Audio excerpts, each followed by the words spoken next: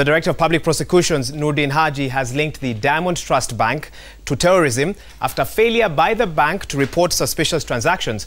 Now, this comes just days after the lender's Eastleigh branch manager was charged with failure to report banking activity that led to the terror attack at 14 Riverside in Nairobi.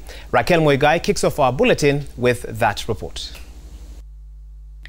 It is before the National Assembly's Justice and Legal Affairs Committee that the Director of Public Prosecution, Noordin Haji, made a stern statement in regards to the war against corruption. We are now taking uh, the fight to the banks so that they take responsibility and ensure that they make the, the reports as required by law to central bank and um, FRC. It is such reports or lack thereof that have landed the Diamond Trust Bank in hot soup.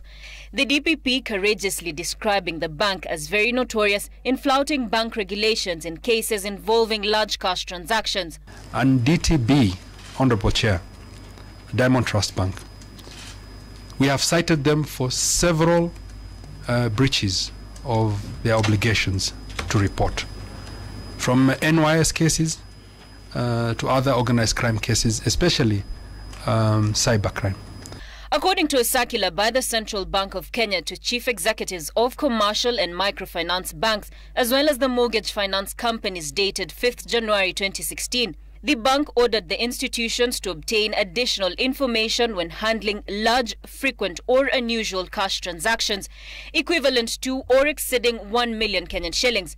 Information including why the large cash deposit or withdrawal is necessary, where the money will be taken right from the bank premises or what it will be used for, among other vital information. This, the DPP says, was a caution the bank never took. In this particular instance, Honorable Chair, we have almost 30 million, if I'm not, if I'm not wrong, being withdrawn by an individual who over the years was only withdrawing 400, a maximum of 400,000 in a month. But within a week, somebody is withdrawing 30 million. And within two minutes, you see somebody withdrawing 5 million from M-Pesa. Uh, I think that begs for us to ask questions why this was happening and why they did not take any caution whatsoever. Regulations outlined in the Anti-Money Laundering and Counter-Financing of Terrorism, the Proceeds of Crime and Anti-Money Laundering Act, any cash transactions on a single day of between 1 million to 10 million shillings will require approval of branch managers, while that between 10 million shillings and 20 million shillings will have to be given green lights by regional branch manager or senior manager.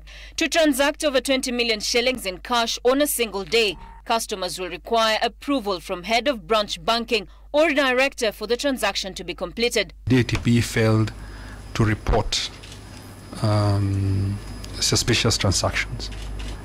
And we've asked even for CCTV footages, which the bank has been reluctant to give us. And we are therefore concluding that there must be some form of aiding and abetting. What else would we charge them for? On Wednesday last week, DTB Eastleigh Bank manager Sophia Mbogo was arraigned in court and charged with aiding and abetting the Dusit terrorist attack. The transactions are said to have been carried out on different dates between December 4th, 2018 and January 5th, 2018. Rakem Wigai, Citizen TV.